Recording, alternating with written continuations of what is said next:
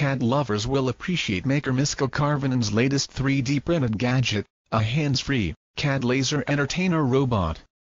It isn't as though holding a laser pointer is particularly arduous task, but with the robot, you'll now be able to entertain your cat and make a video of the event at the same time because the world needs yet another cat video, right? In fact, Karvonen's video of the robot in action check it out at the bottom of this page is a great addition to the cat video archives in itself.